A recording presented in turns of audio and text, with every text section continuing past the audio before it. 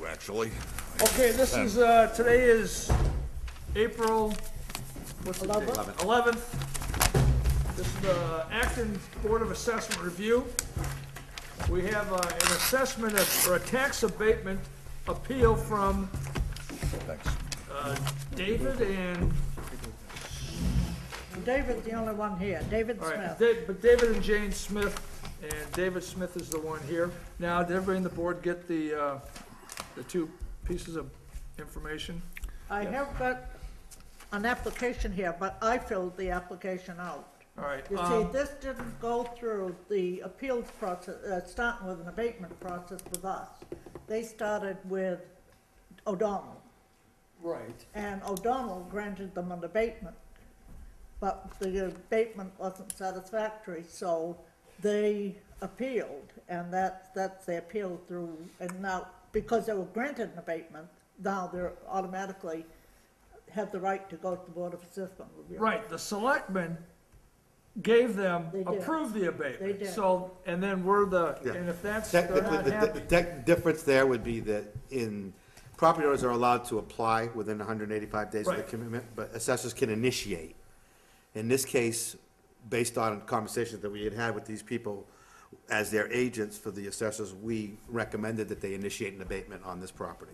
My letter kind of goes through the history on that, so Gotcha. I'll, I kind of spelled that out from the, from the, I'll say the informal process prior to commitment of taxes to the more formal mm-hmm. review Gotcha. after, so. You see that? You saw All right, that, now, Dave? bef- The Smiths had asked also for an abatement on this second piece, but as I explained to them, and I, I did in my letter to you, because it had not gone through the abatement process, there was no way, but the, the date was passed for, for Right. applying for an abatement. Do I understand the, the second piece, excuse me for interrupting, Mr. No, Chairman? go ahead. Uh, the second piece referred to as the, as the peninsula? The, the peninsula, the, um, Well, the other piece is the peninsula, yeah. Okay. yeah, the one okay, right right. on the water. The one that's So- labeled as twenty-two. so we're, we're, we're discussing lot twenty tonight. Yes, that's all that we're going to do. Would All you right. like, would you like to? Now, did you get the information, Nancy? I did, but I don't have it with me because I didn't think I was gonna be able to make the hearing. All right, now, we do have, uh, a checklist to go through first before we, uh, formally get started. Uh, the application's all filled out and everything's copacetic there. Uh, it was all done within a timely manner, within the time constraints. Uh, there's the person, from the- uh, the person who filed the appeal, are they here? Or did the correct person, did the property owner file the appeal? Yes. Okay. Um, we didn't ask, you didn't ask for a true and perfect list. uh, Did the taxpayer answer any requests or questions from the assessor? There was a back and forth dialogue between All right. the property owners and, You're happy with the information you got from them? to this point. Yes, yeah. fine, Yeah. fine. Uh, and, um, they paid their taxes on the property? That, I haven't, have you paid your taxes? We always do, I- I'll ask her, but I don't think we owe you, but if we do, I'll find out. Well, the taxes have, to if the taxes weren't paid, we can't do anything. Well, we always pay our taxes, I, I didn't ask my wife before I left. All right. Well, then we're gonna go by that you're up, you're up on the taxes. They're all paid for. I believe that's the case, All right. but I, I'm sorry, I don't, I should know, but I don't. It'd be my family. I, I should have checked earlier tonight too with the, uh, tax collector, but I didn't. I didn't either, and I was, we had a busy day today. We're gonna assume that the, uh, that the taxes have been paid. So all the requirements have been addressed and we're good to go then. And the way this will work is the, the applicant will present their information to us. Then the, um, town's agent, the assessor, will present his information. We'll ask questions during the process and we'll decide what it is we, we're gonna end up doing. They got an abatement, but it wasn't as much as they thought they were due. That's basically where we're at. So, Mr. Chairman, would it be possible, um, prior to making a statement, this is the first time I've been able to see the assessor, could I just ask a few questions so I have information I can then, discuss? Go off the record and give them a chance to. No, I don't mind, no, it could be on the public record, I'm fine with it, because it relates to the, uh, the situation, happy to do that. uh, it's all right with me. Okay. Um, so, um, I'd like to start, um, we've, um, been paying taxes on this property since uh, nineteen nineteen. Um, and, uh, we have never come to the town, um, in that entire, uh, history, uh, asking for anything. Um, we've paid our taxes every year, and, um, uh, so we're a fairly long-term, uh, resident. Um, we've been here a, a long time, we've never asked for anything. Um, I'm not a professional appraiser, but, um, I think that there's some, uh, information the board does not have. I'm not sure why you don't have it. Um, and so what I'd like to do is to share information I think that's material to, uh, your decision on, on our, um, request for an abatement. So I, I would ask, I'm assuming that they have what you have, so the, uh, the uh, email of October twelfth, I'm assuming you gave that to the board? I did not prepare your evidence for them. I just printed it- copies of the emails so that I would have them. All we get is, You're unaware of that? then? right, we just get the application, we get a, a, a picture of the property, Oh, and we get that you, you got, the you applied for yeah. an abatement, you got an abatement, but it wasn't what you, it wasn't the amount you wanted, so you were seeking then a further abatement through the Board of Assessment Review. That's all that we get. No problem. Do you, would you, do you Would- mind, it's very brief, would you read that to the board, please? Which email are we talking October about? 12th. there's only one, I believe, on that date, um, so, excuse me, October twenty-sixth, October twenty-sixth. to uh, Jane Smith. Dear Mrs. Smith, well, actually, if you wanna go back one, um, I'm fine with that as well. Um, the, uh, one dated, um, October twenty-sixth is fine. Hello, Jane, it was nice to talk with you. Chairman, uh, these folks do not have a microphone. They're not Yeah, speaking that's into the what I asked microphone. her. You She might could want to pick it move, up. She said move she that. could. Can you, are you getting it, Virginia? Okay. If you like, uh, if you wanted me to make it easier, um, go to the one dated December one. I know Yeah, I've got December. Okay, because you were copied on that. Here, Yeah, Yeah, so go ahead, if you don't mind reading that, I'd be very appreciative. the one from Jane. Uh, Dear Ms. Smith, I wanted you to know that I visited your vacant parcel yesterday. Let me just find Um, that particular. Or if you have, if, let me ask you, if you have your response regarding the fire chief conversation, I'm happy with that too. I Okay, dear Mrs. Smith, yeah. I mainly um, want the board to hear about the conversation with the fire chief, if you'd be so kind. Okay. Well, Happy New Year. just to, just so we, we're, what we're reading is emails that were sent back and forth between John O'Donnell and Jane Smith and ultimately involved other town employees. Correct. Uh, the first email that he references was an email sent, and I have it dated December first, uh, from John to Mrs. Smith. Says, "I want you to know that I visited your vacant parcel yesterday." Actually, if you want to go to the 29th, I'm fine, it'll cut time down. Yeah, Uh, The December 29th one is fine. December twenty-ninth. Yeah, Dear Jane, I'd like to wish you a Happy New Year. That's really the one we, I think we can, I don't have those. all right, you don't? Well, The one I, I have, no, I, I don't have, the Dear Jane, uh, I don't have that one. You Let me can read read yours. If because you don't have copies, why don't you go ahead and read it as Yeah. part of your evidence? Yeah, no problem, no, no, but I didn't, I didn't know if you had an advance from the appraiser. Nope. That's why, okay. Nope. Dear Jane, first I'd like to wish you a Happy New Year. Second, we have an informal review of the assessed value of your vacant lot. So my first question is, what, I don't know what an informal review is. What is an informal review? Okay, well, there seems to be some confusion as to what process we were undertaking after the, it- my letter kind of explains this, but Yeah. what, prior to the commitment of taxes, Right. typically when a company performs a revaluation, they'll send out notices to property owners allowing for a brief period of time where they accept information informally, where people send us letters, emails, faxes. Uh, We also schedule hearings that we sit down and we meet with people face to face. That's the informal review? That's an informal review that Got gives a a person an opportunity to discuss their value with us prior to the commitment of I'm taxes. fine with that. Okay, then, I also contacted the Acton Fire Chief and spoke with him about the hydrant and access to the property. This is our main uh, thing here. The fire chief indicated the town does not require that the gate remain unlocked. We have a gate, um, uh, Lockbox, yes, a ma'am? Knox box? Uh, no, no, it's actually a gate where we put actually a padlock on it, okay, for the road. We got broken in a few years ago. Um, he also said if they needed access to the hydrant and the gate was locked, they would simply cut the lock. I feel your ability to limit unauthorized access to the driveway is a big consideration. Okay, I'm gonna stop there for a minute if I might. So, um, uh, two uh, winters ago, there were um, uh, five uh, snow plowing um, uh, down our driveway, and uh, during the summer, there were three checks on the hydrant, which was eight, and then there were also two more inspections, which was 10, which means that we would have to cut the lock, I think I'm right, about every six weeks.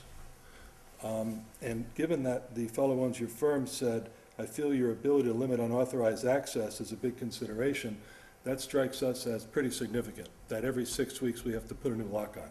Without the lock, uh, we, and it'll be in the police reports, we have been broken into. Uh, So we want to keep people off the uh, right-of-way if possible, going down into our, our property. So the first point I wanted to make was that, I thought the board would have this, was that the uh, fellow who did the, um, I guess, um, Mr. O'Donnell did the uh, computations? Well, John did them in conjunction with myself. Okay. I, I don't know if you saw this. we, we, not. we we spoke, yeah, we, we spoke about this prior. So, so the first thing I just want to say is that um, this seems to be uh, where he's saying we think it's very important, but uh, the fact that it would be 10 cuts during the year doesn't seem to be considered. Um, So therefore, we can't protect our property if in fact the gate has to stay open. Um, The Can- second, oh, go ahead, Can sir. I, may I ask a question at this, or would you prefer not to? Or no, never mind, go ahead. You- I- I let's- just- let's yeah, let him yeah, get okay, through this, okay. Because No, I think I- it's the I- same thing I'm gonna. Yeah, yeah. Okay. Um, I know, I sit on a real estate board in my town, and uh, I'll try to be as fast as, as I can. Sorry, I apologize. for- I haven't done this before. Okay, so the second thing is, um, we assume that the uh, basis of the valuation is that someone would buy that property and uh, develop it, or buy that property and put a house on it. I think that's pretty true, right? I asked the assessor. The basis of the valuation is the market value. Right, okay, and. And there may be a number of variables that I go to understand. creating the value. Oh, no, no, I One of get it. those might be the ability to develop the property. Right, but Yeah. assuming that you uh, priced ours like all the others, and all the others already have homes on them, I'm gonna say kind of, I don't know, phrase, but common sense says, you assume someone is gonna put something on it.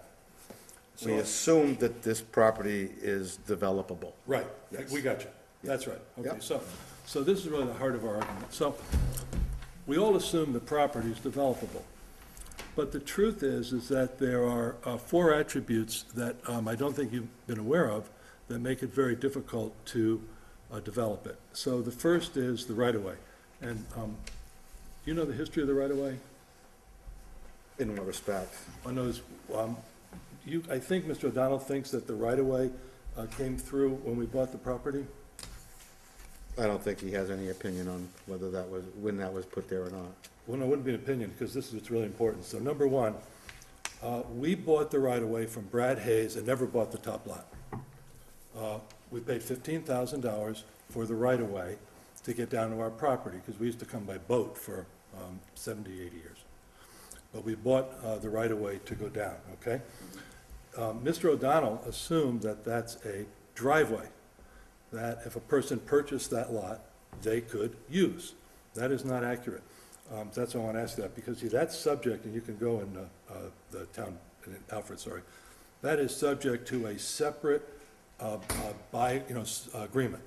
Okay, that's just a right-of-way.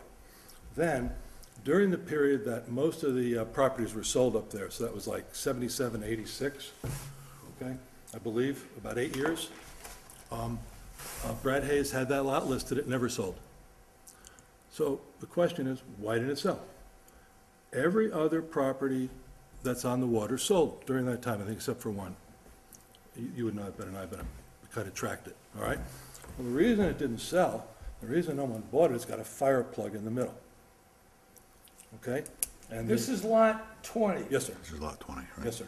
Yeah, ma- make sure they understand the right of way going to your camp is what you're talking about. Yeah, yeah, yeah, I'm gonna, I can show you in a movie, just one second, I just wanna get through this.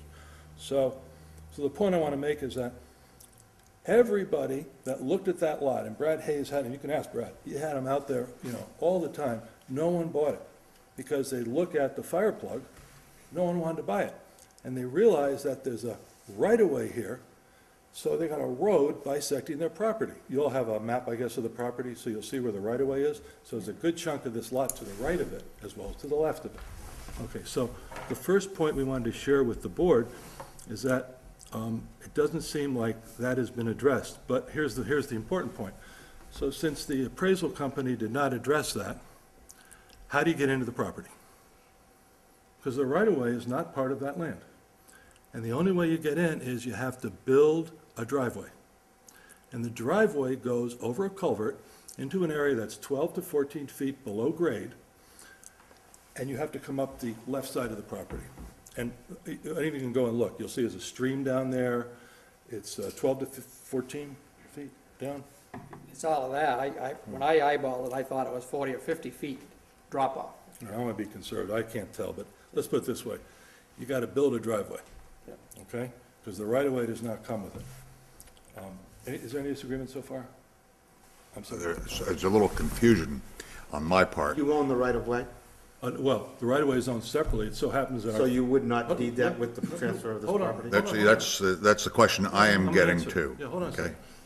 Um, The right-of-way is owned by our family separately, but that's because if we elected to sell our camp, the owner, the owner can do what they want. That's why we did that. You have a right-of-way. Do you own the right-of-way? Those are two separate questions. Yeah, sure. You- In other words, this lot is physically split. In other words, these are actually two lots divided by a separate piece of property, and you have a deed to that piece of land. That's the question. Yeah, question. the top lot is split by the right-of-way, and we own that. You own the right-of-way. Yeah, I You have a deed to the right-of-way? Um, I have. Separate a deed to the right-of-way? deed To the right-of-way conveyed to me by Brad Hayes, yes. So the, the land under the road, let's say it's fifteen feet wide, that is owned by lot twenty-two. Yes, that's right, thank you. So these are two separate lots then? That's here? right. Yes, thank you, sorry, yes. Okay, that's, absolutely that's the, that's a relevant correct. question. Bottom lot and the top lot are two, I'm sorry, yes, sir, two separate lots. And you own both lots? But he owns, Yeah. he owns lot 20 I know. also, right? Okay. Okay, Yeah, okay. am I, am I correct there? I am, we're unaware of this, obviously, the Okay. tax map doesn't depict it that way. Oh, the, the real simple solution here is neither of these lots that remain are developable, so they should be combined into a single lot, and you should be assessed at a single lot. Excuse me for jumping to the logical conclusion, but No, they can't, they, they can't be combined, because they're, they're, they're separate lots. they can be combined. Well, they can, They're contiguous waterfront lots. right. We usually, No, it's not the same name, it's different names. No, but they can be combined by putting them under the same But name. you also stated that the. No, we split the them, land because to in, in the the- event we select to sell our camp down below, we want to be able to do that. You said the land to the Okay, left well, of the right-of-way is very. then we're back steep, to where we were. Undevelopable anyways, right? Well, I'll, yeah, I'll Let- let comment. I mean, I have yeah. something to show you if, if you want. I- Why why don't you go ahead with, uh, Let me just finish if I can, because I don't want to mislead you, because I'm not, I want to make sure that I'm answering you correctly. right, The, the three problems with the lot on top are that a right-of-way bisects it, Let's, lot number what? Let's go Uh, back to, to zero. Okay, let's, which is the larger all one. right, so we need to clarify what, what we're talking about at this point. Two zero is bisected by a right-of-way. Number two, it has a fire plug in the middle of its, um, uh, the water there, okay? And number three, it's unlikely that a homeowner would place their house next to the right-of-way, so they'd have to go up on top of the hill. Okay, again, we've used that term right-of-way. Sorry. You, you- you are describing four separate parcels of land. This, including your peninsula here, there are four separate parcels of land that are physically divided? Right. Well, I own the peninsula, I own the right-of-way, and uh, it's different names, but- but the top lot is also owned, 20. We own everything. okay, so you have one deed that describes the parcels of land on each side of the right-of-way. Yeah, yeah, This that's is one- a- that's one lot, that's lot 20, that's absolutely correct. Well, it's not one lot because you've divided it. If It's not it's, divided If, there. if there's a physical deed for that, describing that as a separate piece of property, a fee simple deed that says this is 20 a, 20 is one property. Am I correct? Lot 20 is one property. It so happens that it's, that a right-of-way goes through it. Lot twenty seems to be labeled as a subdivision lot, as lot I think fourteen it of was a- created as a approved subdivision. It was, it was. it was, absolutely correct. Yeah, No, that's correct, it was. But there's a, there, we're gonna have to get into that on- once Right. he's done, because, yeah, we're, go ahead and finish up. No, no, so, so, okay, so, um, so the other, the other thing is that, assuming this lot has deficiencies, which, which, you know, a reasonable person would say a lot that has a right-of-way and a fire plug has deficiencies. So our lot, um, had the largest percentage increase. So, um, between the last, it took ten years for it to double, And then in this most recent evaluation, it went up by over hundred percent. And there's no other lot in that area that went up over hundred percent. And we don't understand that because of the deficiencies in the lot. That assumes that the original valuations were at the levels that they were in, should have been at. Say that again? Oftentimes, when you revalue properties, you shift values, and you may have one lot that increases more as an overall percentage of its value relative to the next lot, because of the assessment it had on it prior to that. So, so is it your position that the lot was incorrectly assessed originally? I am not making any judgments about the past assessment. My, our values are not based on the past values. What I'm saying is that Oh, I think you just the said- value that it had before is, has no bearing on the value that we would assign to it presently. The values that we assign to the lots presently are based on what the market dictates at this particular juncture. The assessments that were done prior were calibrated from some other market that existed at a, at a different No point in time. No problem. So Things I- change over no, time. I get it. So Yeah. I would ask this question. Um, there was no reference to the low-lying wet area, which takes a substantial part of the property, and I'm wondering, um, why there wasn't. Well, I, I- I, I guess what, are you just kind of referencing variables that impact value negatively? Because if I don't we know were, to we were to, you know, measure variables, I suppose we would have a list of hundred positive attributes and a list of hundred negative attributes to your property. It's a general assessment, we try to consider these things in, in their totality as they impact the property. Oftentimes, we take and we make adjustments based on a couple of different variables. Maybe the combination of topography and right-of-way and the limitations of where the pro, house would be limited would cause us to make X adjustment to the property. But that's not specific. Have you got more information you wanna present to us before we get, Yeah, I do, yeah. All right. So I Let's thought I would show you what it looks like so you can get a feel Fine, for it. fine. Would that be helpful? Sure. Okay, thanks. I think this will give you a sense too of, um, what it looks like. Um, so you can see that, um, it would be pretty hard to, uh, build on this thing. Okay, I just did this about an hour ago. Okay, so this is the fire plug, and it's located about the center of the, uh, the lot. And this is uh, what you see when you come down, you have the fire plug here, and as you you keep going down. how far is it from the water? The hydrant? Right on the water. It's on the wall. edge. Oh, all right. About the, uh, steepest drop off, uh, that I'm aware of. And the campsite that you would look for if you don't wanna be in the plug is up on top, up there, that's. Here's the fire plug, and then this is the right of way, so the right of way bisects, uh, this piece of property leading up here, uh, for the, uh, placement of a camp. So what we'll do is we'll, uh, That doesn't show. be going The, uh, this right of way also bisects this lot, so you've got a pretty good chunk of lot up over here. You can see going down to the water. That's to the right of the Yeah. It's not usable, of course, because it's too small for the, because of this road. And this is the road that the, uh, fire department needs access to, that I think there are a few questions about. So if you come up this right away. heavy breathing. Uh, here is expensive. I can sympathize. to the left, a pretty good chunk, I know the uh, treasurer's supposed to tell us, but pretty good chunk of this lot is to the left. And the majority of it's to the right of this, uh, right-of-way road. And again, the right-of-way road is not part of this property, it's subject to a separate agreement. And, uh, the details of that in a minute. So then here is the kind of the lot. So where are you gonna put the camp? And that's an interesting question. Because no one's gonna build, I don't think, but I don't think you're gonna put the camp next to the right of way, next to this road. 'Cause that road now goes down into another camp. So, let's say you're gonna put the camp in the middle. Well, it's a pretty steep drop off to the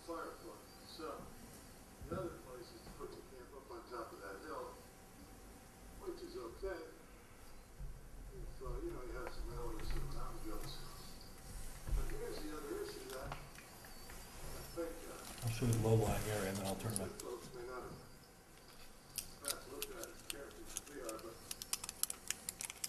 here's your right of way, going out to the street, correct? So, two, there is no provision for that right of way to be used by this property. owner. So assume from that, this property, owner buy this lot, and they've gotta get into their property. So this property owner doesn't wanna do that. Well, if that's the case, what they're gonna have to do, they're gonna have to bisect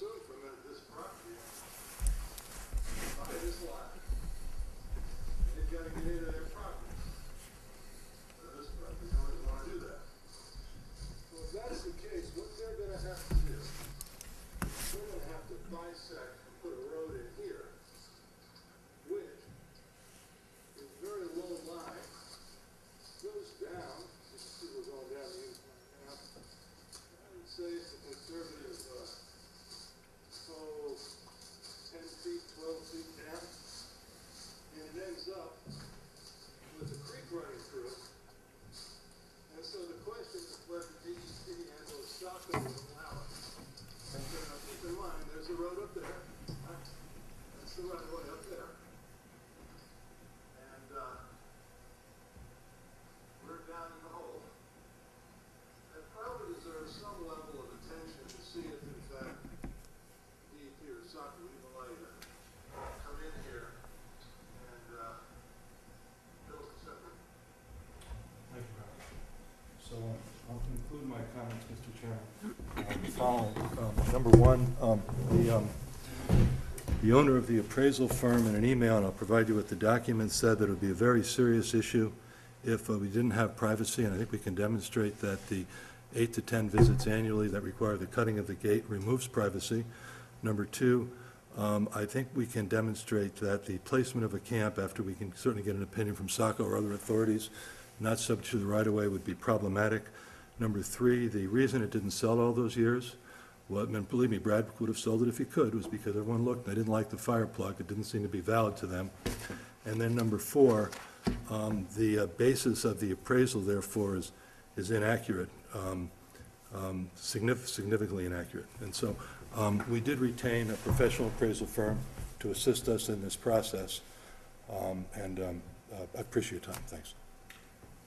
All right, um, did you wanna go ahead and present the, uh, Yeah, Mike, the town's case? certainly can. Town's I information? I prepared some paperwork which is intended to try to, Have- Does he represent the town or his firm? No, it's one and the same. Oh, it is? Yeah, it's the Okay. same, right. Okay, okay.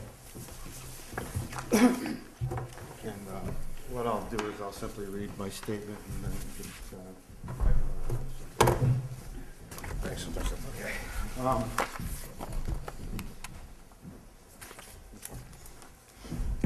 I'll simply read from my letter, and then I'll kind of get into some of the counterpoints, I guess. Um, We have been asked to represent the town of Acton concerning the appeal of an abatement granted to David Smith Trust for property located on tax map 103, lot 20. The assessors granted abatement on January 12th, 2012 for this property, reducing the assessed value from 247,831 to 234,787. Town of Acton conducted a general revaluation of all properties for the 2011 tax year. All properties were valued in accordance with their market values. Prior to commitment of taxes and as part of an informal review process, all Acton property owners were given an opportunity to provide feedback about their values. The applicant provided a letter dated July 21st, 2011, but were out of the country during the time that hearings were conducted in Acton. The letter was reviewed and adjustment was made to take into account the limitations that were described in the original letter. I read the letter in August, it came through, and as part of the review process, all emails, faxes, those types of things are organized, read. I read the letter. At that point, I understood what they were explaining. I did make a modest adjustment to the land value at that time. Um, I think I took five percent off at, at that time. Uh, After tax bills had been sent out, the property owner contacted the assessor's agent on September 21st to initiate a conversation about the property. They were not satisfied with the new value and wanted to pursue an abatement of the property.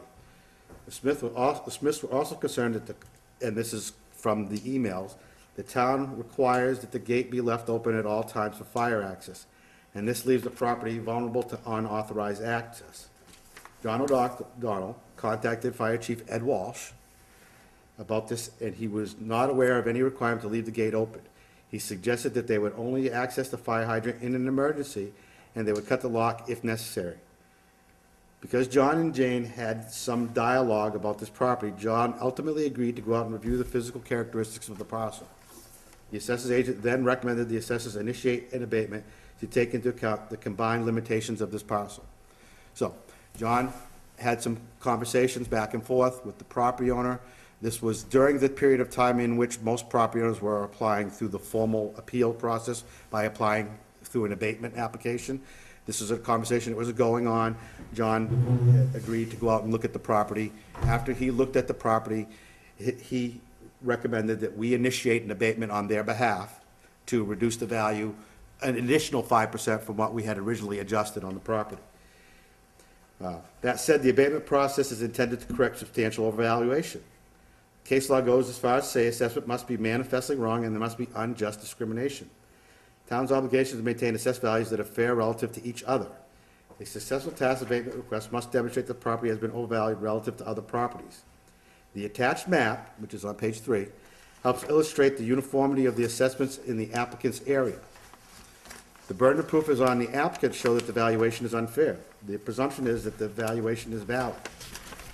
We conclude that value is not manifestly wrong, nor have they been discriminated against when compared to similar properties.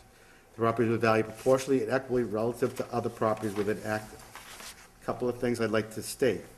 Um, Typically, when one applies for an abatement, they would provide the town with a credible alternate value. That value could then be compared against the assessed value to determine whether the property has been overvalued or not. We have not received any credible alternate value for this property at any juncture, only a list of the variables that they think impact its value. Has the property owner been asked to supply that? Well, it is part of the abatement process. But where is, where is the, uh, If you had filled out an application, you would have seen that that would have been what would have been asked for. right, but I, I, we're prepared to do that if the town would like that, but at no point have we been asked to do that, and since we're novices to this, but we would be happy to do that if you would like that. Well, I guess my point is that as, as, as the property owner applies for an abatement, everything that they have should be presented to the assessor so that we can consider it as we make our decision. Well, Given the fact that there were five separate emails between the head of your firm and my wife, and there was ongoing dialogue, I would have thought that with your knowledge of the process that would assist, you would have said, you really should do this. Well, I- I'll be honest with you, we, John and I talked about it. We talked about that property relative to some of the other properties in the area and where a home would potentially be located. That's a different issue. The No, first I was, I was down there today to look at the other homes in the neighborhood to see where they're located, relative to where a home would be located on this property. Right. And what I'll suggest is that any home that you might locate on this property would be no further from the water than any one of these other properties that have recently been developed in that area. Well, and I'll have something to say about that. And Where I agree with you totally is that when you look at this lot, it is a very appealing lot and looks like a typical waterfront lot. You and I have no argument. And where I also agree with you is that you have been consistent in your assessment of neighboring properties.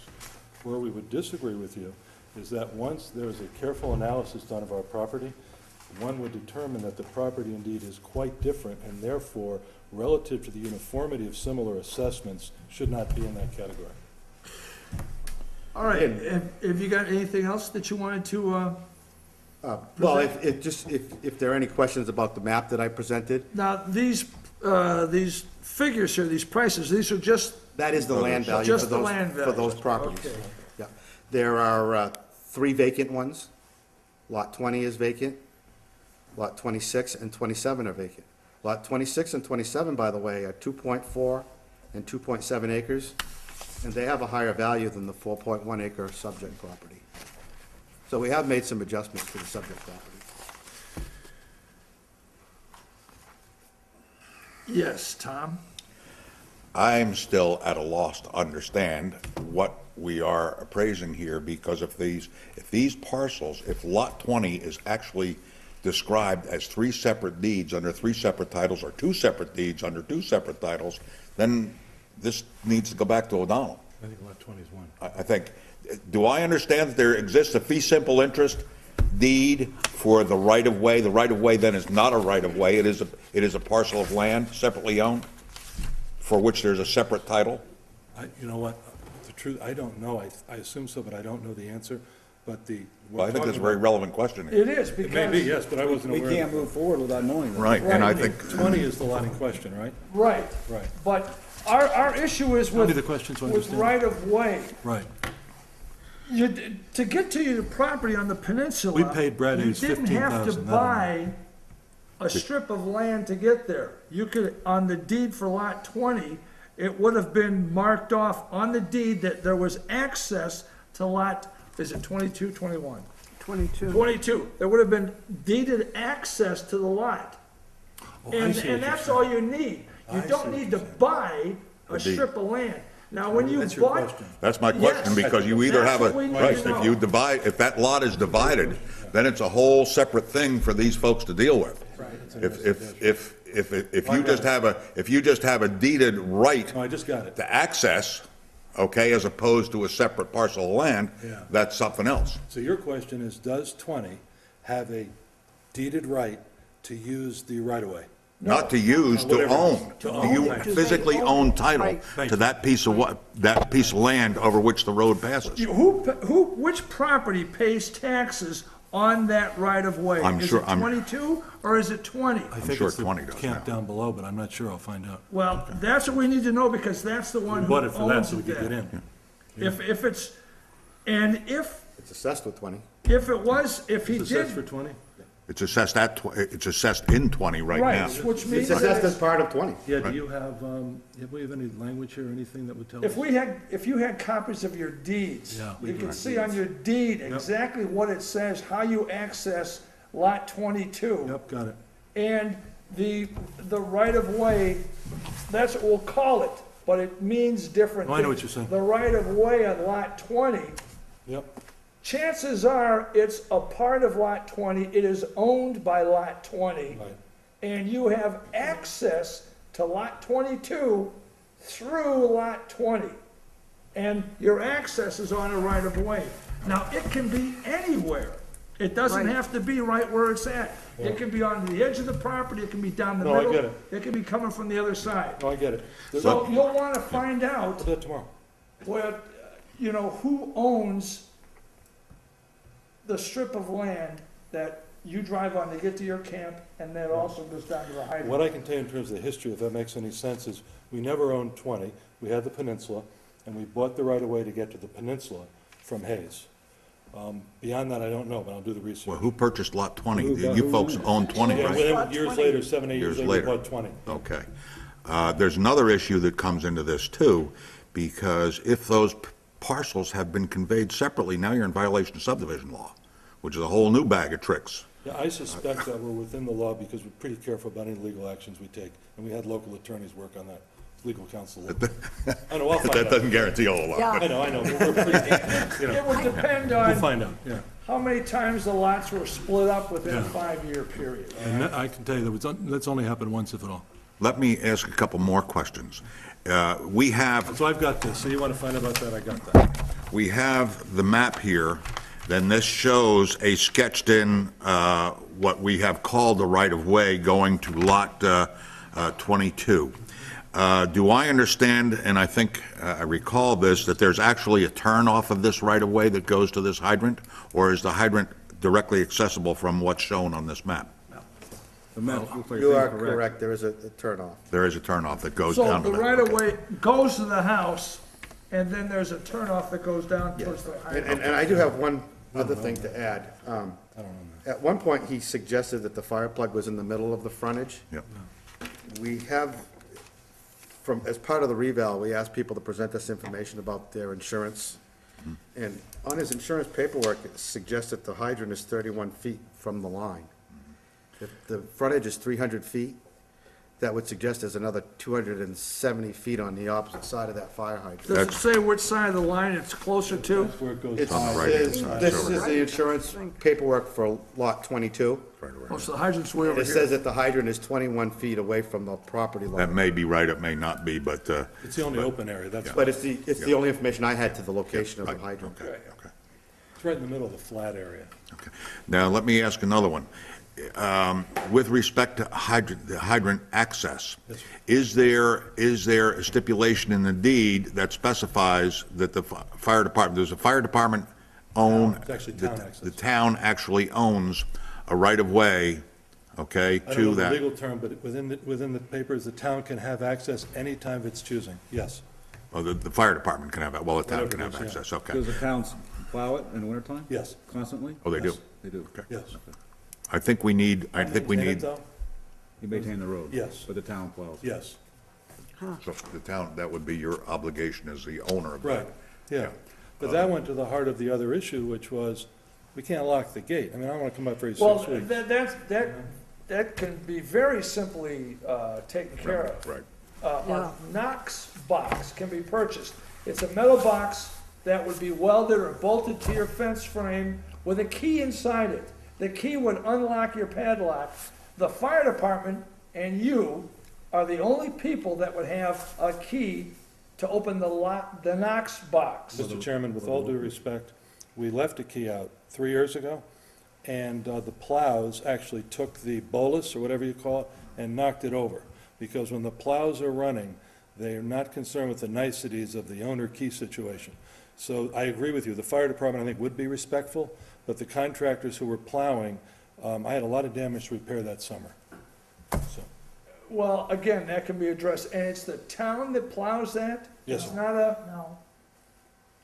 Town That's, that's the private road. that's a private road, that's right. That's David Langley. Remember So, when they put well, the subdivision we don't know who in, it the is, road didn't town. meet But- town. no, no, but the Right. town, the town keeps it, uh, I'm pretty sure the town does the plowing. No, I don't think, Uh, I- no, that can't it's- be. It's private, it's a, I know the, the private contractor does the roads in there, because they're all private roads. As far as that drive to get to the hydrant, I'm not exactly sure, because again, we don't really s- have a copy of the deed to say exactly who maintains this. Is it the town? Is it the lake? Is it the association that, you know, all these property owners?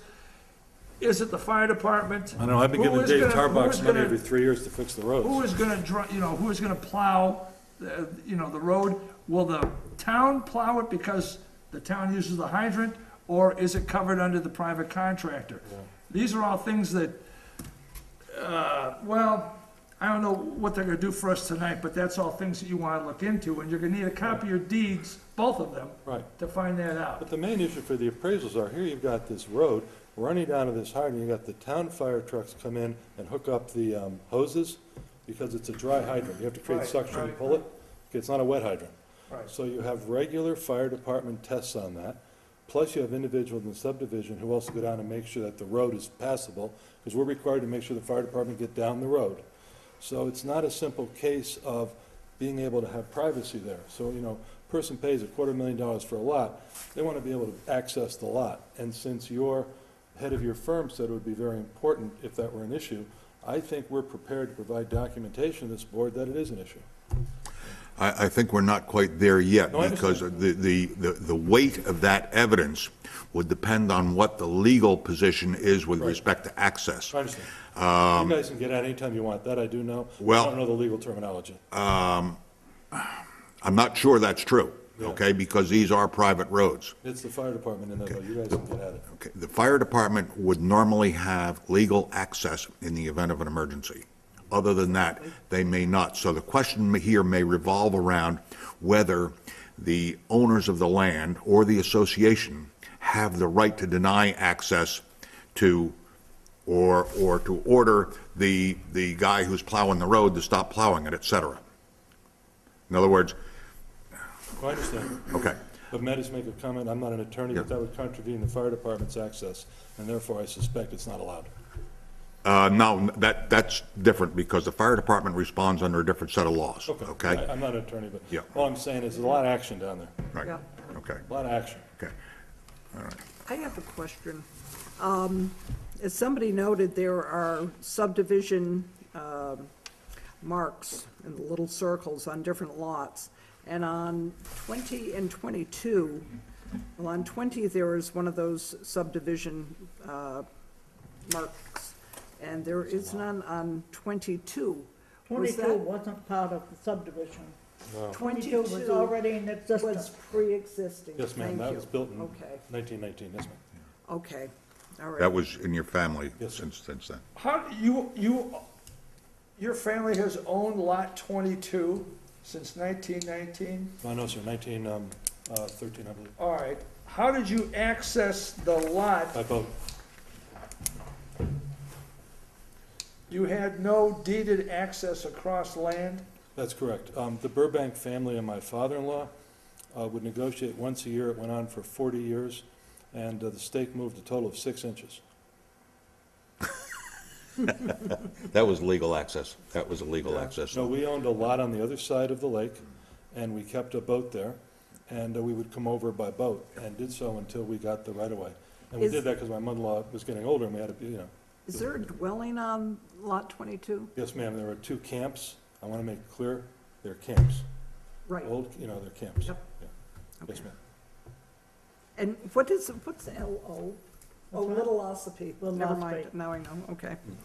That's why the houses are up front instead Yeah. of down on the lake, And- because there's tighter restrictions, because the Ossipee, Right, so what is the um, setback for a Little Ossipee zoning? I don't know, what they make you set back, Uh, well, I don't know, but the subdivision rule there is a two hundred feet on twenty, I know that. three hundred maybe? No, two, I think it's two hundred and twenty when it was What, set up. on the Saco River? Oh, Saco, I don't know. What is On it? the Little Ossipee, yeah. What's Little Well, Ossipee? is- it, it's They're- part of the they're- Saco. Not River Saco corridor. River, right, Yeah, the subdivision was originally two hundred, I think, when it was originally done.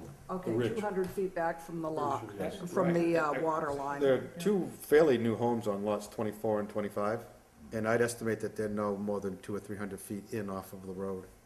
They're not that deep in there. No, no, no, You were asking off the water. Off the road. 200 feet back the water, yeah. Oh, okay, but I, I can't read the fine print on the side. What is, what are the side measurements? I'm sorry. Uh, lot no dimensions. idea, I can't read. No idea, none of us can None of read us know. It's a big mystery, Nate. Got a Yes, bigger map, Dennis? It's maybe four forty-one fifteen, but see. what you- that number's, it's kinda, Yeah.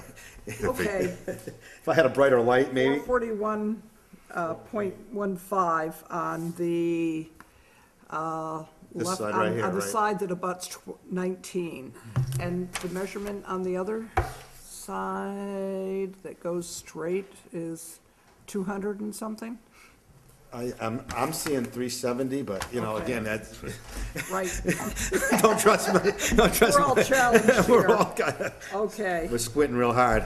yeah, really, So it's a Don't four get my point acre. magnifying glass. Four point one acre lot. okay. I, uh, I have to put up on my, my computer screen and blow it up that way, 'cause it's a lot easier So- to do that way.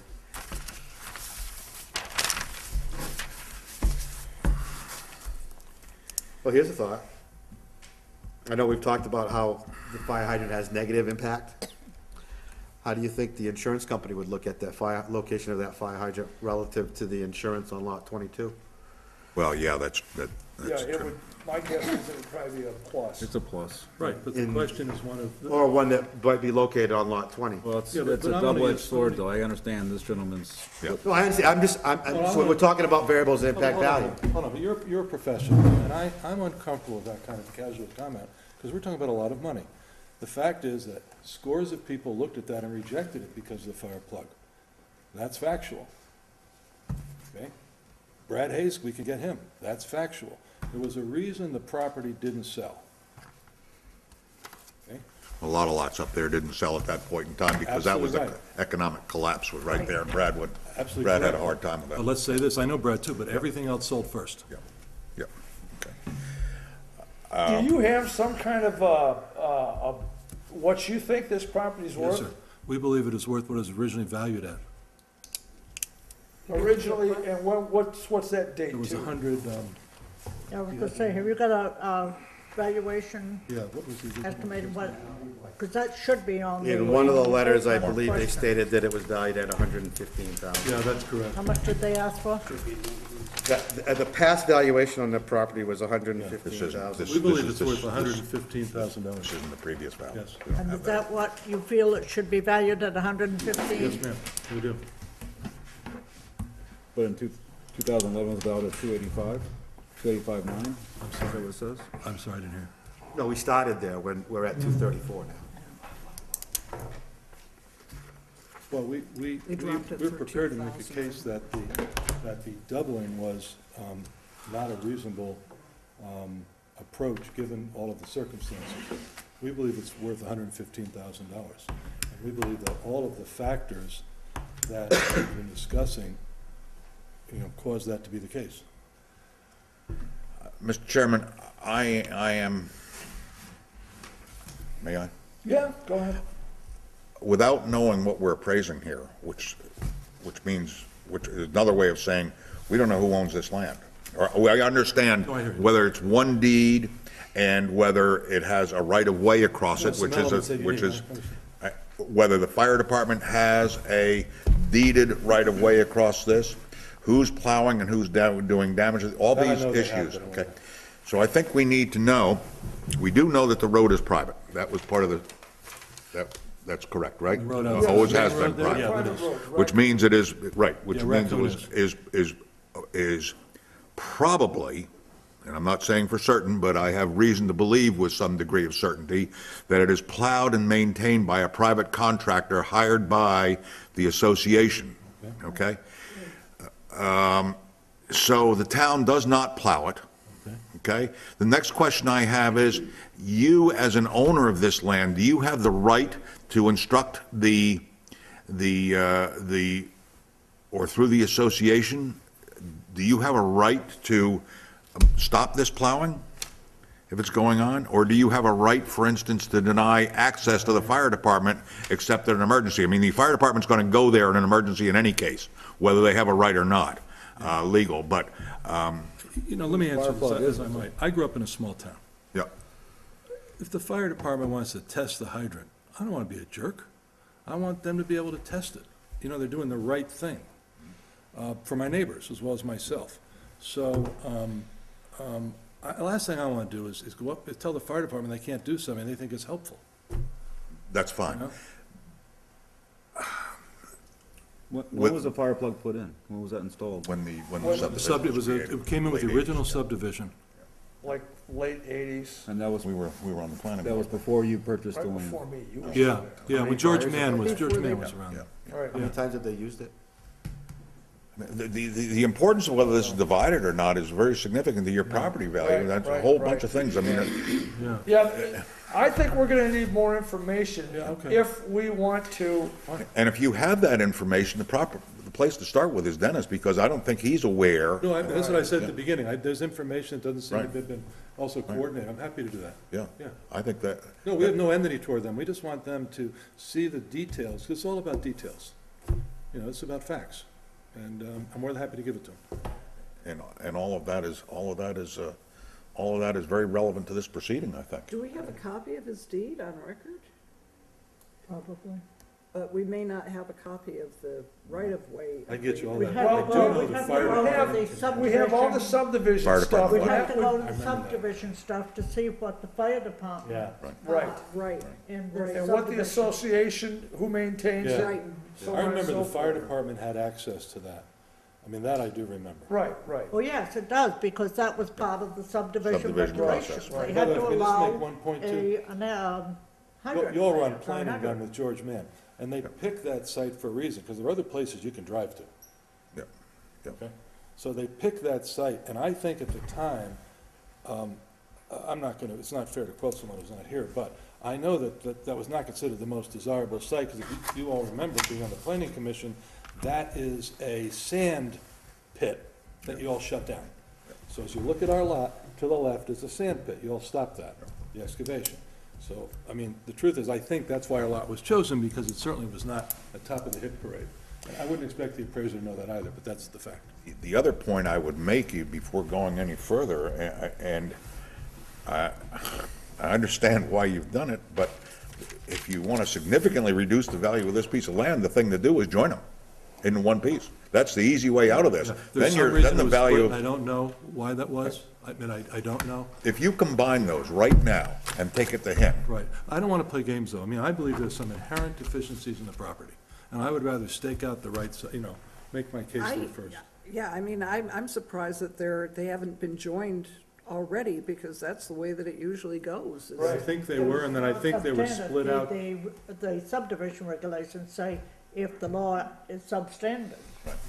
You know, not big enough, not meeting Oh, regulations. right, oh, okay. I think we split them You can't because of our have children. two That's together, but if it's a substandard lot, Well, then you the- can the- call Well, it. if one was Simple fact added is, though, it says- subdivision, But Lorraine, that's what he's As stating. soon as you, as soon as you, That was an existing. well, I'm not well, sure. I would have a question, if, if you can join a lot that is not in the subdivision with a lot that's in the subdivision, doesn't that need to go before the planning board? Uh, I, I don't know. It I might. think that would be an That's- automatic that's what before the we're- planning board, We're forgetting right. too, is that lot twenty-two is not part of this subdivision. And it's So, not on the same deed. that, that's kind of, yeah, Yeah. we're, that keeps messing us up, I think, a little bit. But I think that automatically, if, if lot twenty could have been, if they had wanted to, at the time, joined to the lot Right. twenty-two. Well, and certainly lot twenty-two is, is substandard because it has no, uh, No access. no and- direct road access. And it's, And, and probably its, its boundaries are, Did you, did you are, you know. pursue the matter of getting No a road frontage, subdivision no nothing. on that lot, on lot twenty? Did you pursue getting a subdivision there? Is that, I'm not sure what that means, so I'm sorry. Well, this is, if that's deeded for a subdivision. No, no, no. No, this is the whole The whole, subdivision. the whole This is ball the of wax. Burbank This is Farm. one of the lots in yeah. the That's subdivision. one lot's in the Okay. subdivision. Right, all right. But he, that's following the subdivisions. No, he's not proposing to subdivide this. Oh, no, no, no, no, I don't do it, no. It would seem to me that, I don't know that, that we have enough, uh, credible information Okay, to make any kind of determination. okay. And I think Tom brought up a good point in that there is probably some more stuff that you could bring to the assessor to help them in looking at the property. Okay, uh, we And, need, we and need that three would deeds, certainly be a copy of your, any deeds that you have, the rights of the fire department in the town. Right, I mean, that would I- be in the deed in the homeowners association, whatever, Okay. however that's written up. Happy to do it, okay. Well, And, and the current appraisal would be quite helpful, because it would be instructive to see how appraisers are handling the restrictions that they are suggesting exist here. Well, we're not suggesting they Relative to exist. a We don't lot know without that- those types of restrictions. we don't know that they exist, though. That's, Right. that's, that's an issue. That's the issue that we have to answer. Right. I get it. Because we don't know exactly who owns the right of way, how it's set up, if, if we knew all that, eh, then, yeah, we, we don't Well, have I get enough it, and and our information. position will be, I'm gonna have to get this, but our position will be that their acceleration was, did not take into account all of the elements that are important, but I, I know what we have to do, we have to get you more information. And I think the information, if you have that information, it needs to go to these folks first. They're the, they're the, Well, I would simply ask that I be allowed to present the information simultaneously to the appraiser and, the- and the committee by mail. well, it goes to the Oh, appraiser, and that's he where it has goes to first? take action. Oh, I got you, okay. Before it would go back to us. if Okay, I no have problem. that Well, my, correct. One of my it to you. concerns to, coming into this was that there was reference in this application that there was an appraisal. So I was consider, I was, I was concerned with the premise that I might have evidence that was gonna be presented this evening that I hadn't had an opportunity to consider, which was one of the things that we were kind of a little apprehensive about. The process of seeking an abatement requires that you first establish that you've been overvalued. To do that, you have to establish a credible alternate value. So if you don't establish that you've been overvalued, then none of this discussion that we're having about the variables even matters. And well, except, except to, except to seek justice. I mean, a- as, excuse me, No, we have to terminate and deny tonight. Well, you have to I- adjudicate based I- on I- what's I presented think- to you, right, yes. I think we have to do that. We have more That- information. Well, um, okay. I wanna waive my rights, okay. I would just, I would just make a reference to the Yusem versus the Town of Raymond case, where this kind of discussion occurred. we understand, if- if, we- if we have to come to a conclusion tonight, uh, we have to deny, we don't, we don't have the information to, to move forward, or to make any judgment with respect to the value of this land, because we don't know who owns it.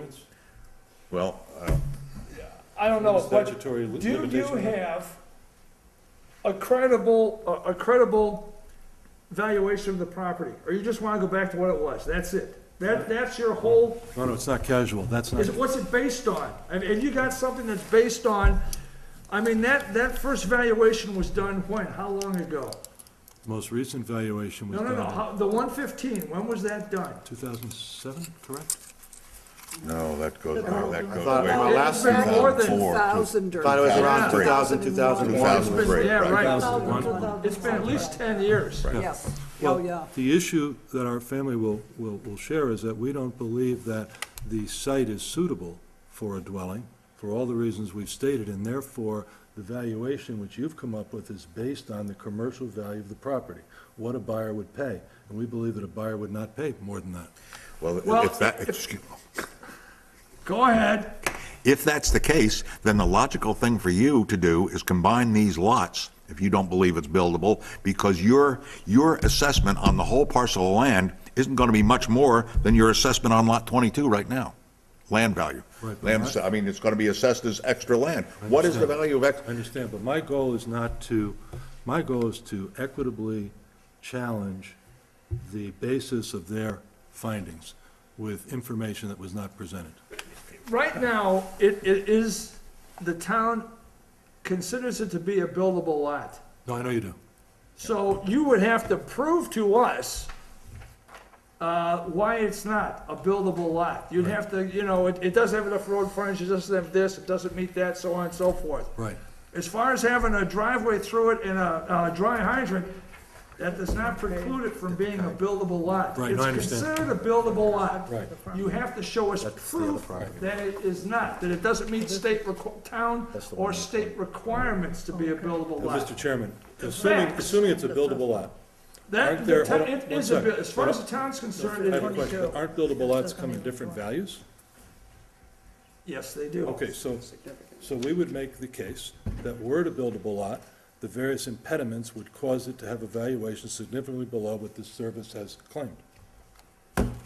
And we would just need to see, uh, what, how you reach that, you know, We understand. How, uh, how many thousand did you take off because of a driveway? How many thousands would you take off because there's a dry hydrant? We want to, you know, we're gonna, we need to see Understand. some, other than, Who owns the we lot? like what it was in two thousand, it right. shouldn't be any I'm different. not making that casually. Our contention is that the appraisers valued the lot based on the comparable properties. The assumption that our property was comparable is incorrect. Therefore, we do not believe that the basis of the valuation should have a subtraction methodology applied to it, but that indeed the original basis should be questioned in its entirety. you may be correct, you may be correct, and I'm not going to challenge that. I, I don't know. But in order to get to any kind of conclusion, we have to, I have we to give have you more to, information. we have to understand these issues. I would I'm I- respectfully request a continuance if possible, I but thank thought you. the gentleman with you was an appraiser.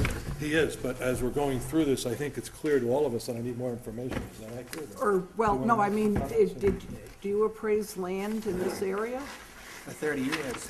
Oh, did you come up with some kind of No, appraisal? what I did come up with some percentages that I think should be adjusted, like you mentioned. And, But if you give me five minutes, I'll go through what I have quickly. well, I, I don't know, is I'm that? not sure it's relevant to We- it. It's irrelevant because of Unfortunately, we the, uh, probably don't have question of the road enough ownership. information.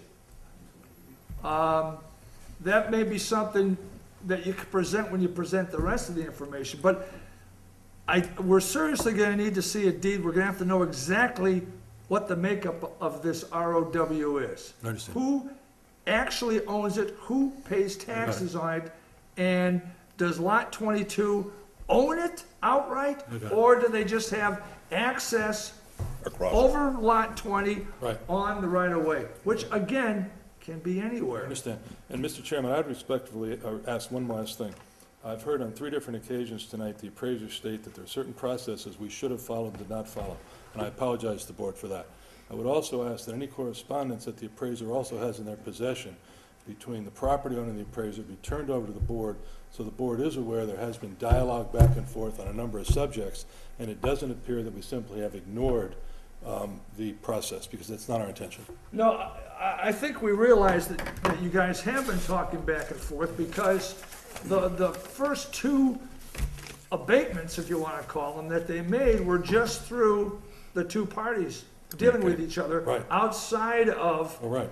an official notification to the selectmen Right. until they finally came up with the, the, the last five percentage. Well, Mr. Chairman, in all fairness, we were discouraged from coming, and I wasn't going to say that, but, in, in- and I will be happy to show you the email. and the email states that I'm sure that the board will agree with my findings. Now, I've been on real estate committees in towns, and I understand when the consultant says that, what they're saying is, look, if you go before the board, you're gonna lose. So I am very sensitive to the fact that all of the information that, that, the cons- that the consultant gets, you get as well. Well, I think that you'll find think that we'll- he was referencing the original assessors meeting, where the No, I'm referencing assessors, where five where we emails. make a recommendation to the assessors, and then they vote to either approve or deny our recommendations. I like transparency, I like everything out there. Yeah, but that may be, I would suggest that if John was sa- suggesting it wasn't necessary to come to the meeting, it would have been that meeting. That's not what he Because he, suggested. his, If you'd like to attendance quote at from this the meeting email, is absolutely required. I'd be required. happy to quote from the email. The email says the following: I have no reason to believe that the board will disagree with my findings. Now, Well, we're all was- adults and we Well, of course he wouldn't have any reason to believe board that's didn't why he would disagree with assert the it. he Right, was right. talking to the, that was the select board he The was assessor, talking the Board of about. Assessors. agreed. Right, the, Well, not us. With all due respect, Chairman, I've simply asked that anything the assessors get, you get, and I'm happy to provide everything I get. I like it all out there. I, I, I think, I think we're off the issue here. Okay, thank you. Uh, You know, we're dealing with, we're dealing with hearsay and, and conversation that is Well, I have to go not back and do relevant. some research uh, and present it, and I'll do that immediately. Right, Okay. and I don't exactly know if we can, you know, grant a continuance, uh, if we would have to make a decision tonight, and if we made a decision, and if we did not grant an abatement, do they still have the right to appeal to us again, or do they have to then go to Superior Court? Gotta go to court, gotta go to yes. court. If you deny, So- the next step is to go to court, So I Do you think have what the we right- do you- should can you do continue? is, unless you continue, right. but once again, that, that's, um, a Well, decision. then, you know, we can let, if we, uh, if we grant a continuance tonight until everybody gets more information, I'll do that right away. they're not gonna be upset with us. O'Donnell's not gonna be upset with us. Who's gonna be upset with this? The court. Who cares about that? Right. Because they're not gonna bother us. So, yeah, I, I, I think we We'll take ought to just chance grant a the board. continuance until both parties, you two, have all the information back and forth that you'll need. Good. And O'Donnell would then see what you guys want to do. And if you think that there's something valid you can bring to the selectmen, you know, Yeah, well, again, it would be incumbent on what we, what we. Right. Find out. and, and then, and then we'll go through the process, but, Happy to do it. you know. And it- again, you still have the option of combining these two lots, and, and then your assessment's gonna be like the, the value of the, of the, of the lot twenty-two. Oh, no, no, I understand, but, but for us, it's a a bigger issue at stake here. You know, we've been here since nineteen nineteen, and I, and we believe strongly that a lot of our points are accurate, and I don't mean to be pig-headed, but, you know, this is ours and we pay the money, and I just think this was not the, it was not an accurate depiction, and I want to at least pursue that course first, with uh, all due respect. That's fine. I mean, so is the board in agreement that we grant a continuance on this abatement before the Board of Assessment Review until both parties have gotten all their information back and forth? When's your next meeting, Well, Mr. it Chairman? has Uh, to be we don't- between them because Yes, we don't have regular have any schedule. more action to take. No, This is between the owner and O'Donnell. right, He's got to furnish proof to O'Donnell Right. That would justify O'Donnell Right. making a larger abatement. right. See, I don't believe O'Donnell had enough information. They certainly didn't have the information that we're looking for tonight, like a copy of the deed to know exactly what the story is with the right-of-way. Right. And Or two rights of way, there may be two rights of way Yeah, there. Yeah. so, uh, yeah, I, I, I think, yeah. And we'll commit to this board that we'll have it done But within the if next uh, twenty-one days. The question is, don't- the real question on the right-of-way is, what rights will the owner of lot twenty have to use that right-of-way, if any? Their position, they're not, i- if they have any control of it, they will grant no right to anybody else, if, for lot twenty. Well, if If they, they- if they, if they Bigger own it, they can do that. If they only have a right of way, they can't do that. Right. Right, I don't know Well, what we that's, have. that's the, un- yeah, that's, that's the unknown. But that might be more complicated, because if you have a, a piece of land that's owned separately in the middle of that subdivision lot, That's, I guess you have a bigger problem on your hands. right. Yeah, Yeah, and and that's, Let me get the facts first before we, you know, so I don't. That's all we're doing is I I would be speculating. very surprised if in fact that's what happened, because that's, it seems to be kind of a shake, well, uh, Well, I think that the, when the subdivision was Shaky, I in the was gonna planning say. process, that it's they would haze. Do have, that. have, the planning We're on board would TV, have you made a provision for lot twenty-two. What's that? I said, I believe when they were in the planning, Right, yeah. lot, uh, the planning board would have made a provision for lot I twenty-two. think I remember that. I was on the planning board then. That was, Why would they if it wasn't part of the subdivision? Because, It becomes landlocked. Because they are blocking it now. Because you had an They- opportunity once they maybe to get to the rest of road. that Right. land. You didn't want to lose it. there was You know, weighted the grant land law, the law is that you have to have access. But water access is a legal access, Lorraine. What's that? Water access is a legal access. So boat Oh, access. only now to it an is, island. yeah. Legal, Only yeah. to an island, that's not an island, it's a peninsula. Right. Oh, It's, it's, it's drawn on the maps as if it is a right-of-way. Yeah. Which, that doesn't mean anything, but it's, it's, Right, Okay, and so- you have to see if the verbiage, I mean, we own a piece of land. Nobody is And paying there's an taxes on the right-of-way. unlocated, unlocated right-of-way that my abutter has. Hmm. So, so the, the other issues are, the other issues are who does actually plow the road, who's responsible for plowing the road, and. Who has the and rights what over the road. deeds, What deeds have been granted to, to use the road. Yeah, yeah, what the subdivision, uh, I'll get on you that. know, The homeowners association. yeah, the whatever. homeowners Or association, what their lakefront. rights I- are There's as two far as different that groups goes. down there, so I don't know which. Yeah, this would be the ridge people, I'm guessing, but I'm not sure. I mean, we belong to the other side for, And you'd have to look at the original subdivision. Well, you, you'll have a copy in all, in your deed, when you bought lot twenty, all the information be in there, cause you're, pr- you're paying a percentage of road maintenance I'll go and down for in the morning pull it. upkeep and everything else. I'll get it done. Um, so anyway, I think we're gonna, we're gonna sit back and wait for you guys to Yeah, happy get all to. your Good. stuff back and forth. okay. Do we have? And at some point, then O'Donnell will let us know what decision they've come to, and that could be the end of it. You guys could be happy with what they end up Understood. deciding. Understood. Or it could be, they could maybe not make it enough, and then you wanna go through the abatement process. And as long as we're continuing this, it's, as far as I'm concerned, it's still gonna be okay to bring to us a month, two months, whatever it is down the road. I think we all want to wrap it up as fast as possible. We'll Fine move with me. quickly. Oh, I, I'd also, suggest that we're in the abatement process, that the original abatement was granted, and we're now in the appeal of that process.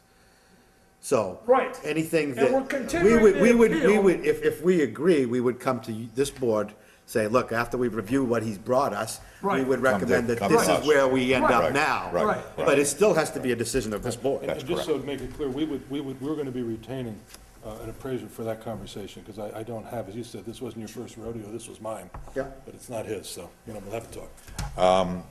Can I, can I propose, uh, Mr. Chairman, that I assume we're about to make a motion to continue this, uh, and I would propose that we set a de- a deadline to, for the continuance to be on or before, to continue until, say, the first of June or something of that sort? Is that, is that gonna give everybody enough time, first of June? Yeah, we'll move quickly. in other words, if, if, Yeah. if nothing Well, happens You don't schedule a between, meeting the first week of June. No, no, I'm not no. gonna be around. Come on, I already know I'm on vacation. I'm not either, so. Just that we're notified by the first of June, Sure. yeah. And, uh, then if we, if nothing happens between, by the first of June, then we get together and just formally, formally deny it, but I assume that something is gonna happen. Okay, thank you. And your offices are, um, Where, what what do you, what do you need? your offices are where, where- I'm just thinking. New Gloucester. Where, oh, New Gloucester. Was that, was that a motion? Who's Uh, gonna make a motion? I will, I'll, I'll make, okay, I'll make a motion that we grant a continuance to this Board of Assessment, uh, uh, hearing, uh, until the uh, first of June of this year. Two thousand twelve. Right. And if we haven't heard anything from. It's automatic, we, we, we have, we act Then it then is after that, right. That doesn't have to be in the motion, we just act. So I assume that what will happen Is is there in a a second? fairly quick time, you'll I'm gonna do provide me Further with this discussion? Do right away, yeah. I won't be in the office. All those in tomorrow, favor, so I aye? won't be around. No problem, I'm gonna go to, Who uh, Also seconded it, Dan? Dan? Dandy, okay, we're all set. I want to So, thank the board too for listening, I appreciate it. Sure. Thank you very much. all right, We understand? Yeah, thanks. good luck, have fun.